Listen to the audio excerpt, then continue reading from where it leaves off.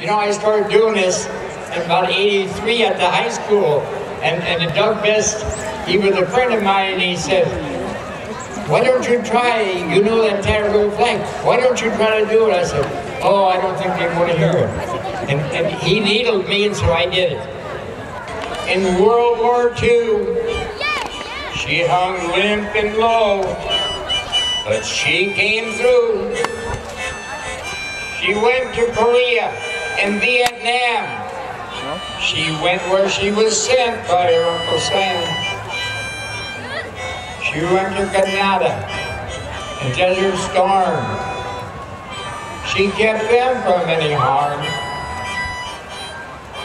On 9-11-01, terrorists crashed planes into the fields of Pennsylvania and the Pentagon.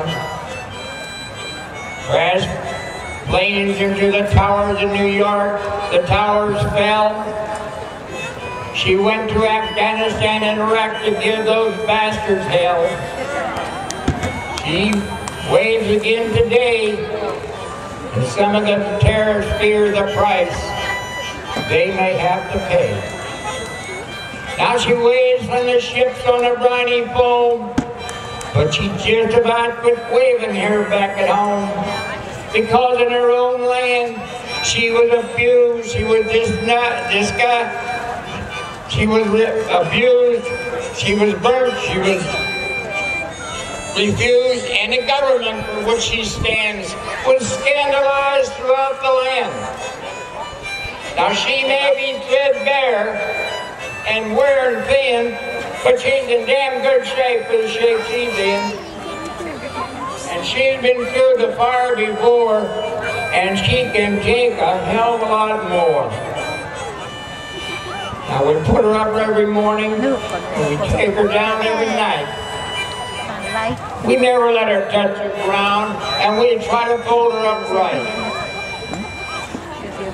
The old man said to me, he said, you know, we really do like the flag, because we're mighty proud of that tattered old flag. And I'm going to tell you something, there isn't one soul here that's any more proud of the flag than I am.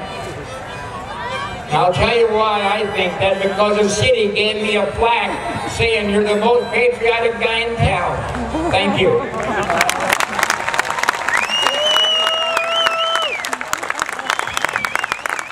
Thank you, Harvey. Thank you, Don.